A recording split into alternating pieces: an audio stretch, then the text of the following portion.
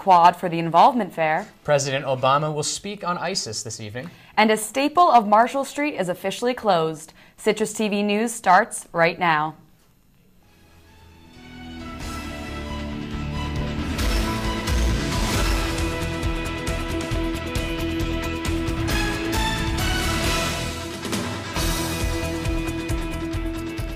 Good afternoon and welcome to Citrus TV News Live at 6. I'm Ali Bauman. And I'm Max Darrow. Tickets to see Oprah when she visits Syracuse University went on sale today, and that's our top story tonight. Oprah Winfrey is coming to Syracuse University in about three weeks, but she's already making waves on campus. Oprah is dedicating the brand new studio in the Newhouse School on September 29th. Tickets for the event went on sale today at 11 a.m., and employees said it took only eight minutes to completely sell out. The line stretched all the way outside the Schine Student Center, with some students getting to the box office as early as 7 a.m. for a chance to see the TV personality speak. Of course, I'm excited to see Oprah. I've been here since 6:58 this morning, so I wanted to be the first one here. There was some concern students would be upset after the tickets sold out quickly. Employees at the Schine box office told Citrus TV News that they had called DPS because they feared unrest with so many students not getting a ticket for the event.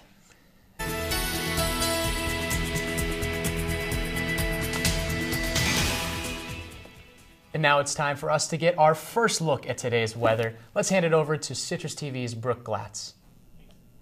As you can see, it was a nice cloudy day on campus, but luckily the sun did come out for the involvement fair that was on the quad, which we can see here now they've nicely cleaned up. The high today was 80 degrees with a low at 69 degrees, so it was a little warm, but with the winds blowing so hard, pretty chilly actually. To find out more about what's coming up this weekend, please tune in to Citrus TV News.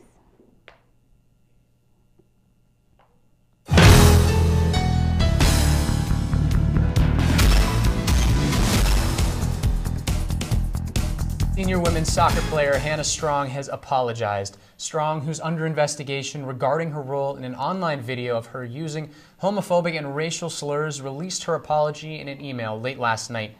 The email begins, quote, I do not know how to express how, sor- how truly sorry I am for my actions displayed in the recent online video. The words I chose are equally cruel and hurtful and do not reflect in any way how I view those it may have offended. End quote. Strong goes on to say that she is taking responsibility for her actions and she apologized to everybody impacted by her words. The investigation is still ongoing, but communication law expert Roy Gutterman, a professor at SU, told Syracuse.com Strong's actions weren't illegal and she didn't even clearly break SU's own code of conduct. The Office of Student Activities at Syracuse University hosted their annual Student Involvement Fair on the quad today. More than 300 clubs and organizations ranging from cultural and religious organizations to campus publications to Greek life and more line the quad from 11:30 a.m. to 3 p.m. The purpose of the event is to give student clubs and organizations the opportunity to advertise their mission and get more students involved in extracurriculars across campus. Hopefully, you got the chance to stop by our Citrus TV booth. Some would call Cosmos Pizza a Syracuse staple. The restaurant on Marshall Street shut down unexpectedly, unexpectedly this summer, and Citrus TV's Topher Lane took a look at what really happened and what is coming up next. He's with us, with us in studio right now. Thanks, Ali. Cosmos is officially no more, and it was a staple indeed. Cosmos was serving SU students and alumni alike for 51 years, and a lot of people were pretty upset about it leaving. Cosmos Pizza. Formerly a Syracuse University student, Marshall Street favorite. Cosmos has been on Marshall Street for 51 years, serving milkshakes, pizza, burgers, and breakfast to students and alumni for decades. It's basically like a tradition to a lot of people. I mean, I, I waited on tons of alumni who would come back and be like, oh my gosh, like I remember like coming here after class and it was like the big hangout spot. So I think just a lot of things changed over the years. In May, Cosmos closed for renovations, saying they will reopen in July until they ultimately close their doors by selling the establishment in the beginning of August. This left workers like Sarah out of a job, and she says there wasn't much warning. I came back to campus and noticed that they were closed, and I didn't really receive any kind of notification or anything regarding why they closed. And um, you know, they didn't let me know like, hey, you should probably try to find another job. So that was kind of scary. The space that used to be the home of Cosmos will soon house sweet basil Thai and Vietnamese cuisine. Moving from Mattydale, the restaurant is excited to have the wide demographic of customers Marshall Street offers. Topher Lane, Citrus TV News. So, Topher, sweet basil, Thai, and Vietnamese cuisine. Is that correct? Yes. Yeah. What can students expect from this restaurant? Is it going to be like appetizing? Is it going to be another quick joint like Cosmos? What should students expect? Uh, it's a it's a very nice sit down restaurant coming from Mattydale, and they, they like Mattydale are coming over from Syracuse or to Syracuse to get the demographic of SU students and alumni and stuff. But uh, they liked Mattydale. They want the demogra- the demographic here because uh, Destiny USA was ruining a lot of their service. The restaurants opening there, like Cheesecake Factory, uh, Cantina Laredo, those places made it a lot harder to have business out in Mattydale. But so they're going to have a nice sit down restaurant, something that Marshall Street isn't necessarily accustomed to, but they hope maybe it'll bring a new flavor to Marshall Street. You know, when I talk to alumni about Syracuse, some staple places they bring up are Faegan's and Cosmos. So, do you think alumni are going to be upset that, you know, this long memory is going to be gone? I think de- I mean, it was definitely a throwback place. It had its jukeboxes. You could put in a quarter, play, build me up, Buttercup, whatever you wanted to hear. So I think a lot of alumni will definitely be disappointed that it's gone, but you know, not, some things have to come to an end, pages have to turn. So it was a great chapter in Marshall Street history and Syracuse history, but it's got to move on eventually. Thank you, Topher. And a crime alert for students tonight. The Department of Public Safety is investigating an armed robbery that took place late last night at the 100 block of Comstock Avenue near East Genesee Street. A student says she was sitting in her parked car when a man walked up to her passenger side window and pulled out a gun. The man demanded the student's belongings and got away with her cell phone. The student got away unharmed. The suspect is being described as a tall, thin male wearing a red hooded sweatshirt and dark jeans. If you have any information, you're asked to call the Syracuse Police Department. Two former Syracuse University ball boys are asking the New York Court of Appeals to reinstate their slander lawsuit against head SU men's basketball coach Jim Boeheim. Bobby Davis and Mike Lang accused longtime Syracuse assistant coach Bernie Fine of molesting them as children.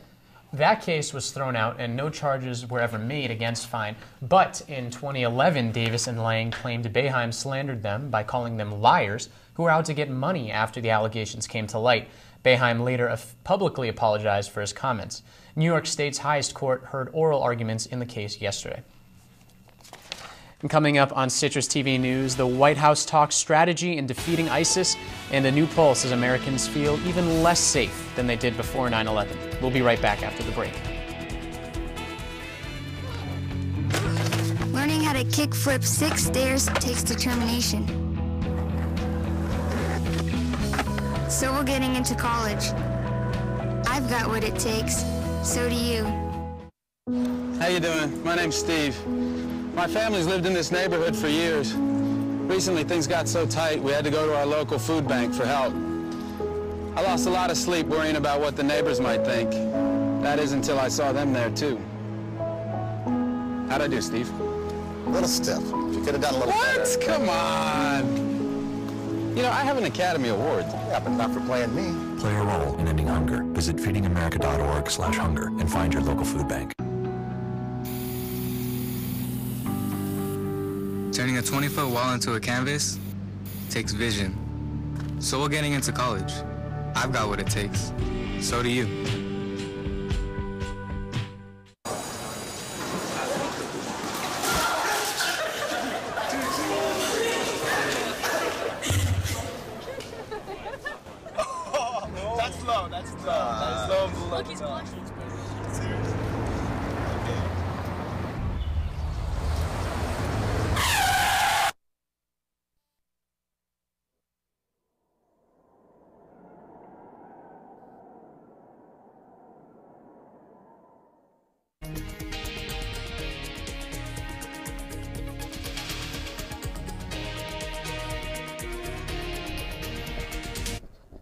Terrible news coming today from the southern U.S. Officials say a South Carolina man will be charged with the murder of his five children.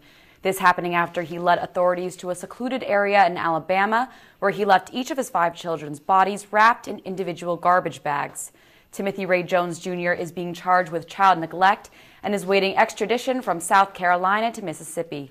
Jones has been in jail in Mississippi since Saturday after he was arrested for suspicion of driving under the influence. A new poll has been released revealing that 47% of Americans believe the country is less safe now than it was before the September 11th attacks. The NBC News Wall Street Journal poll is in stark contrast to just a year ago when only 28% of Americans felt the same way. This is a day. Uh, this is the day of Obama's speech to outline his plan to combat ISIS, the terrorist group who has beheaded two American journalists, James Foley and Steven Sotloff. With the anniversary of 9/11 tomorrow, many Americans fear another fear another attack. Tomorrow will be the 13 year anniversary of the September 11th attacks on the United States and its first anniversary since the 9 11 Museum opened in May. The museum sits beneath the 9 11 memorial, where the commemoration ceremony uh, this year will take place. Though for the first time ever this year, the ceremony will be planned by the September 11th Foundation and not New York City or the mayor's office. The transition began in 2012, but the city remains closely involved with the foundation to ensure that the ceremony runs smoothly. The ceremony will begin tomorrow morning.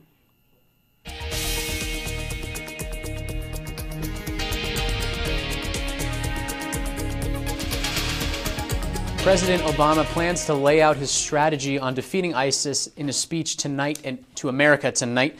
A senior White House official says the president has thought about the possible use of airstrikes in Syria and that the president will outline his plans both in the air and on the ground in his address this evening. Meanwhile, Secretary of State John Kerry is heading to Saudi Arabia this week to encourage the Saudi government to help fight ISIS. Both he and President Obama have stressed the United States will not be alone in the upcoming military action. The President will lay out tonight uh, a more detailed uh, description of exactly what the United States is prepared to do together with many other countries in a broad coalition in order to take on uh, this terrorist uh, structure which uh, uh, is unacceptable by any standard anywhere in the world. And while Obama tries to convince countries around the world to help destroy ISIS, he has one unexpected and unwanted fan in the Middle East. Al Qaeda leader Ayman al Zawahiri is said to be hiding out somewhere in Pakistan or Afghanistan, where he and the rest of Al Qaeda are hoping that President Obama will unveil a plan to end ISIS. Al Qaeda has been in a battle with ISIS over which group is leading the global jihadist movement. All indications so far suggest that the president will use strategies to deal with ISIS similar to how the U.S. has dealt with Al Qaeda in the past. And while the Scottish flag is still being flown at the UK Prime Minister's office in London, it's uncertain that it will be in that way in a few weeks. British Prime Minister David Cameron and other British political leaders arrived in Scotland on Wednesday to try and convince the Scots to maintain their status as a member of the United Kingdom. Cameron's personal plea is an effort to keep the 307 year old union between England and Scotland intact. If the Scots were to secede, it's likely that Cameron would face calls from his Conservative Party to step down.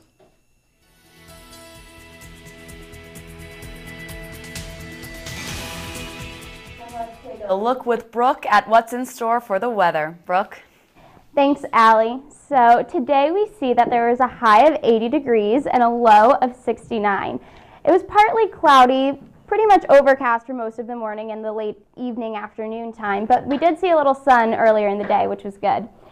The winds have calmed down a little bit. They're only at about 11 miles per hour right now, as opposed to the 21 that we were seeing earlier. Unfortunately, that is not going to stop because there is going to be late thunderstorms tonight.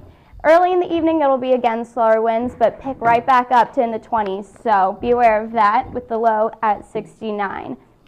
You will also definitely need an umbrella when you're going to class tomorrow because there will be morning showers until about 1 p.m. scattered though, so nothing too bad. High of 74 tomorrow, so again, getting a little chilly. You might also want the rain jacket. We can see the current temperatures around the area are 73 in Syracuse, 75 in Buffalo, pretty much 70s across the board, 80s if you get down to Columbus, but it's getting cooler. We're starting to feel the few effects of fall so far. Moving on to the current dew points, we see that it's again nice and comfortable now, but with those storms coming on the way, it's definitely going to get more humid, so be a little aware of that. The precipitation forecast for the next 48 hours is not too bad, but like I said, there will be rain, so make sure you dress for the weather. Our five day forecast shows that this weekend there will be rain, unfortunately, tomorrow and Saturday, but Friday and Sunday will be nice and sunny. Temperatures are again dropping significantly from 80 today all the way down to 63 on Saturday. So definitely start breaking out that winter weather if you have it in storage. Thanks, Brooke. Coming up after the break, what marijuana has to do with getting a high school diploma and how you can get the iPhone 6 for free.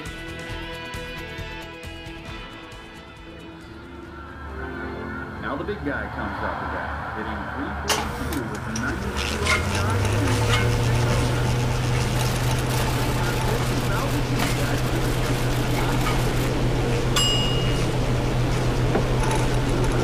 Enfría alimentos crudos y preparados lo antes posible. Este año, una de seis personas en Estados Unidos se enfermará por comer alimentos contaminados. Visita foodsafety.gov barra diagonal español.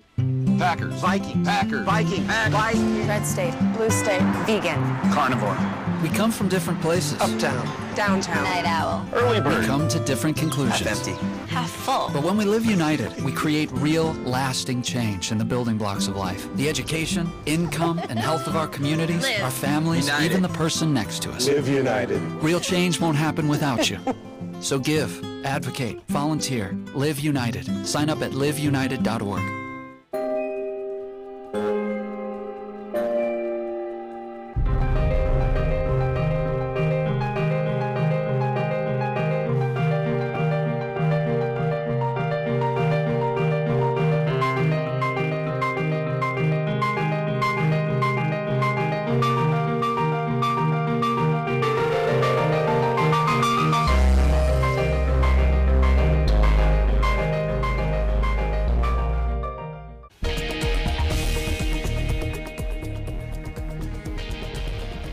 we are launching the biggest advancement in the history of iPhone. Those are the words of Apple CEO Tim Cook at an event in Cupertino, California. Apple unveiled a multitude of new products two new iPhones, the iPhone 6 and the iPhone 6 Plus, a new smartwatch, and a mobile payment platform called Apple Pay. The new iPhones have bigger displays, allowing for bigger batteries, which are said to last for up to 11 hours of video watching on the iPhone 6 and 14 hours of video watching on the iPhone 6 Plus. Pre-orders for the iPhone 6 will begin Friday with prices starting at 199, but there's already a way to get the iPhone for free. Verizon Wireless announced that anyone who chooses to turn in an old iPhone and renew a two-year contract will get the 16 gigabyte version of the new iPhone for free. Well, the next time you see a hashtag on Twitter that is open for interpretation, check to see what it means before you tweet. DiGiorno Pizza learned this the hard way. The hashtag Why I Stayed started to trend on Twitter to promote domestic violence awareness. Unknowingly, the DiGior- DiGiorno Twitter account tweeted, You had pizza with the hashtag. Within minutes, the tweet was deleted, and DiGiorno apologized a number of times after swift backlash from Twitter users around the world. The brand has since apologized, saying, quote, a million apologies, did not read what the hashtag was about before posting, end quote.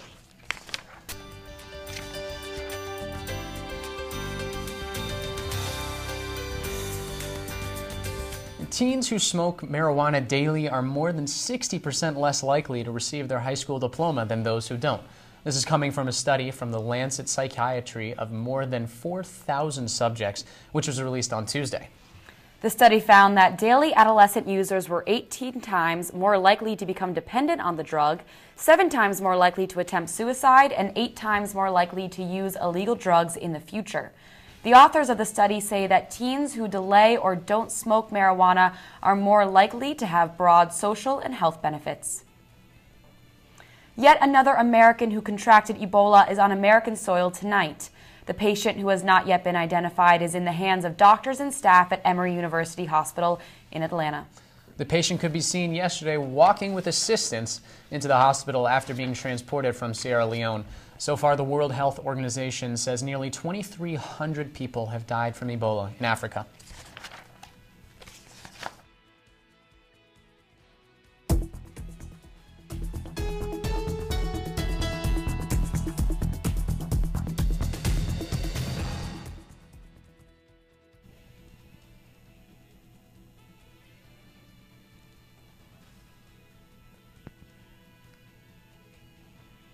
The new Apple iPhones and watches were not the only things released at the Cupertino press conference. Apple CEO Tim Cook brought rock band U2 out to perform at the end of the conference, where they played a brand new single.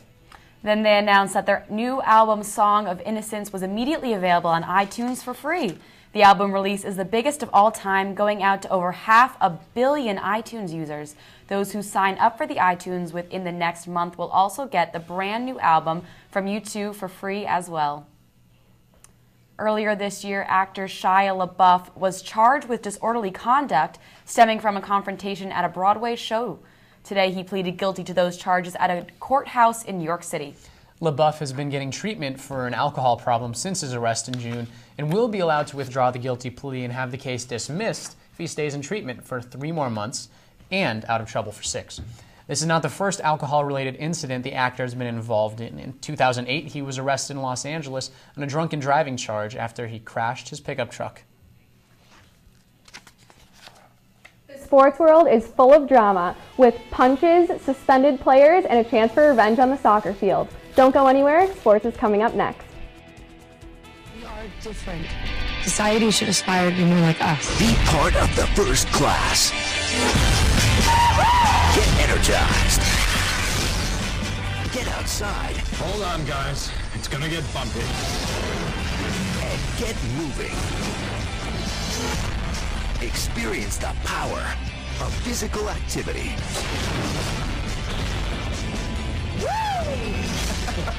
Join the movement at ActionHeroAlliance.com.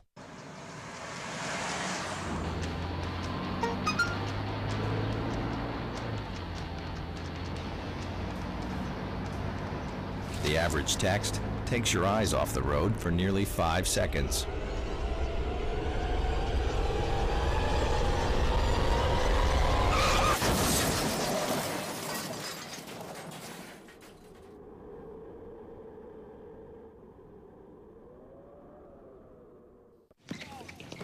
Welcome to my block party. Glad you can make it.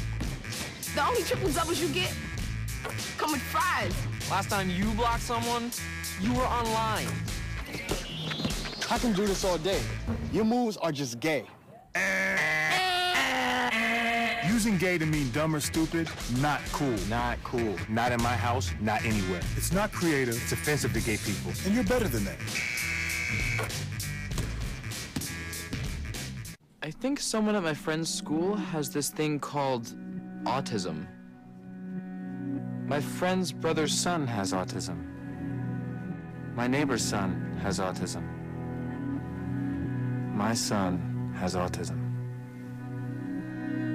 Autism is getting closer to home. Today, 1 in 88 children is diagnosed with autism. That's a 1,000% increase in the last 40 years. Learn more at autismspeaks.org slash signs. The silence is broken. Today, head coach Phil Wheddon spoke out for the first time on the issue of Hannah Strong. The senior midfielder of the SU women's soccer team was seen using offensive and hurtful language in a video that was posted to Instagram. Um, well, we, we have a code of conduct ourselves. You know, the, the team has a code of conduct ourselves. Um, uh, we, we have policies and procedures by which the team operates, not let alone university. Uh, I'm glad that uh, she's come out and said something. I think that was important. Um, you know, there are, there are codes of conduct for everyone, um, and, and we we try we uphold the university's code of conduct, and but we also have the way that we operate as a team.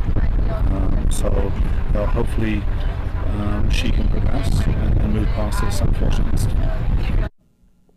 Strong issued an apology today via email, formally expressing her regret and apologies concerning the video.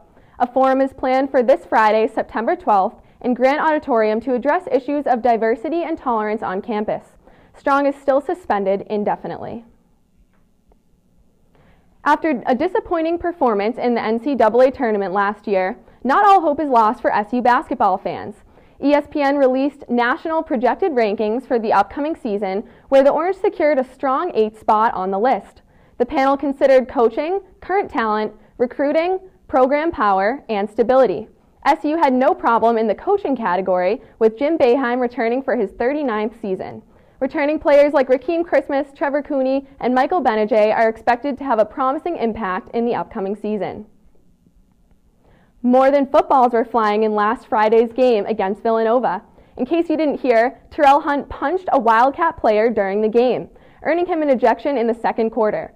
Hunt addressed the punch for the first time in a press conference on Tuesday. It's not going to happen again, plain and simple. What you learned about yourself these last couple of weeks? Nothing I really learned about myself. You know, uh, I'm the same person. You know, I made a mistake. It's simple. You make mistakes, you learn from them, and you move forward. That's all. Did you think when the play happened it was a, a dirty hit?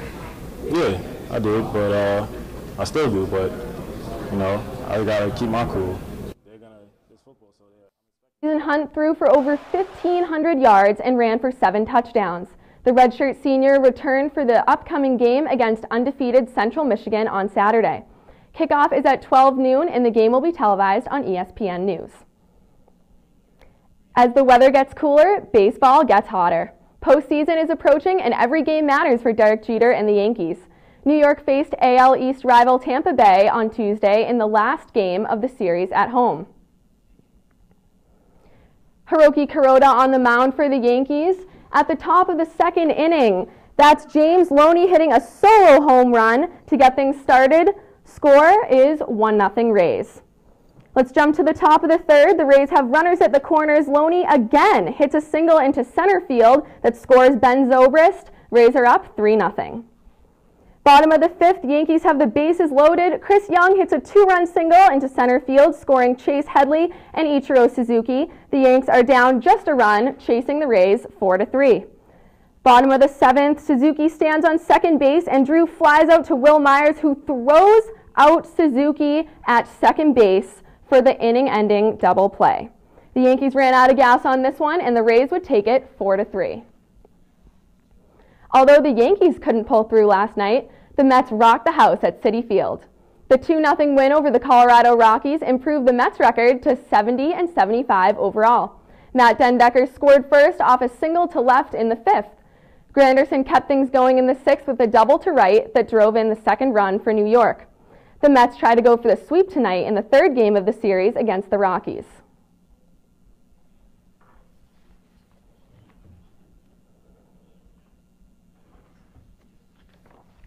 And the New York Red Bulls need some wings to fly past a tough DC United team tonight. DC shut out New York in the past two matches, and the Red Bulls must put a stop to tag team forwards Fabian Espindola and Luis Silva if they hope to get the W.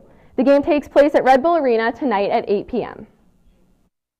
Thanks, Lauren. Stay tuned. After the break, we'll have your wake up weather with Brooke.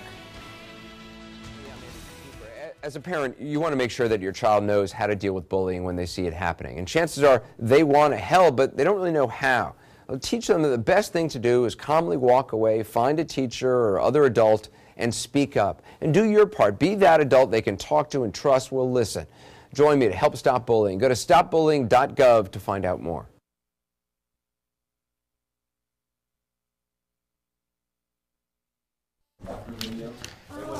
Saying goodbye. Thanks for tuning in tonight. Make sure to tune in tomorrow for Citrus TV News live at 6.